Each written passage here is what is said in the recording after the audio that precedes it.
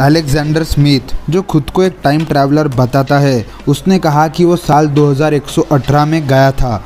जी हाँ दोस्तों, Alexander Smith दावा करता है कि वो साल 2118 में गया और उसने वहाँ जो देखा, उसे देखकर वो हैरान हो गया।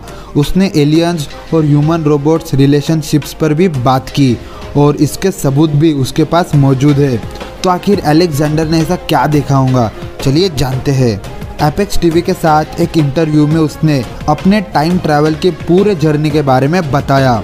उसने कहा कि वो सीआईए यानी सेंट्रल इंटेलिजेंस एजेंसी के साथ काम करता था और सीआईए के साथ काम करने के दौरान साल 1981 में एक एक्सपेरिमेंट था, जहाँ उसे फ्यूचर में जाने को कहा गया था। जिसके लिए सीआईए ने उसे बहुत भारी रकम दी थी। ये मिशन पूरा करने के लिए। दोस्तों, आपको जानकर हैरानी होगी कि उसके पास टाइम ट्रैवल के नाम पर एक प्रूफ है, जो कि एक ब्लर फ़ोटो है, जिसमें ग्रीन कलर के अजीब से शेप्स के बिल्डिंग्स दिखाई दे रहे हैं और फ्लाइंग कार्स भी दिखाई दे रहे हैं। जब उसे पूछा कि ये फ़ोटो ब्लर क्यों है तो उसने कहा कि टाइम ट्रैवल की प्रोसेस की वजह से ये फ़ोटो ब्लर है। पर जब अलेक्जेंडर साल 2118 में गया तो उसने खुद को हॉस्पिटल के एक बेड पर पाया और वहाँ एक नर्स आई और उसने कहा कि आपने इतने आठ कपड़े क्यों पहने हुए हैं? जबकि वहाँ सभी ने वाइट कलर के कपड़े पहने हुए थे, जैसे लॉन्ग स्लीव्स और लॉन्ग पैंट्स पर जब अलेक्जेंडर उस हॉस्पिटल से बाहर आया तो उसने जो देखा, वो हैरान कर देने वाला था। उसने देखा कि जो ह्यूमन यानी इंसान है, उनके रोबोट्स के साथ रिलेशनशिप्स है। उसने ये भी देखा कि पैरों वाली एक महिला यानी एक इंसान बिना पैरों वाले एक आदमी, यानी एक रोबोट के साथ घूम रही थी। इसे पता चलता है कि फ्यूचर में ह्यूमन रोबोट्स रिलेशनशिप्स होने वाले हैं। और आपने विवेक बिंद्रा सर की लाइफ इन 2050 वाली वीडियो तो देखी होंगी। उन्होंने भी उस वीडियो में कहा था कि फ्यूचर में ह्यूमन रोबोट्स रिलेशनशिप्स होने वाले हैं। तो क्या सच में ऐसा होने वाला है? कमेंट में ज़रूर बताना।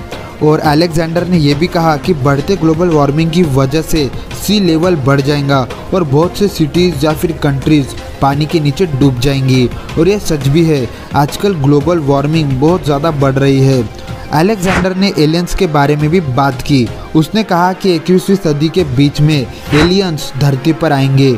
और उसने ये भी कहा कि वो एलियंस हमसे कई गुना ज़्यादा इंटेलिजेंट और एडवांस है। अगर ऐसा हुआ तो सच में मज़ा आ जाएगा। यार, मुझे भी एक बार एलियंस को देखना है। क्या आप भी देखना चाहोगे फ्यूचर में एलियंस कमेंट में ज़रूर बताना। तो दोस्तों, क्या टाइम ट्रैवल सच में एग्जिस्ट करता है? ये तो फ़िलहाल अंदर की बात है, जो अभी भी किसी को नहीं पता। लेकिन आज भी ऐसे फ़ोटोज़ और वीडियोज़ मौजूद है, जिससे सवाल खड़े होते हैं कि क्या सच में टाइम ट्रैवल मुमकिन है? फॉर एग्ज़ाम्पल अब इस फ़ोटो को देखिए। ये फ़ोटो साल 1940 की है। जिसमें ये लड़का बिल्कुल अलग आउटफिट में दिख रहा है, जहाँ इसने मॉडर्न ज़माने के सन ग्लासेस और प्रिंटेड टी शर्ट पहनी हुई है। 1938 की इस फ़ोटो को देखिए। ये लेडी एक फ़ोन जैसे ऑब्जेक्ट को अपने कान से लगाई हुई है। और मैं आपको बता दूँ, दुनिया का पहला हैंड हेल्ड फ़ोन साल 1973 में इन्वेंट हुआ था और ये फ़ोटो साल 1938 की है। अब इस लास्ट इमेज को भी देखिए। साल 2008 में चाइनीज़ आर्कोलॉजिस्ट को ये स्मॉल वॉच जैसी ऑब्जेक्ट एक कब्र से मिली, जो कि करीब 400 साल पुरानी थी। ये फ़ोटो सच में चौंकाने वाले हैं। तो दोस्तों, क्या सच में टाइम ट्रैवल हो सकता है? अब तो ये आने वाला वक्त ही बताएँगा, और अलेक्जेंडर की बात कितनी सच होती है, ये भी आने वाला वक्त ही बताएँगा।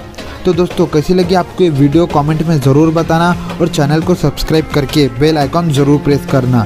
ऐसे ही अमेजिंग वीडियोस देखने के लिए और वीडियो को लाइक और शेयर ज़रूर करना।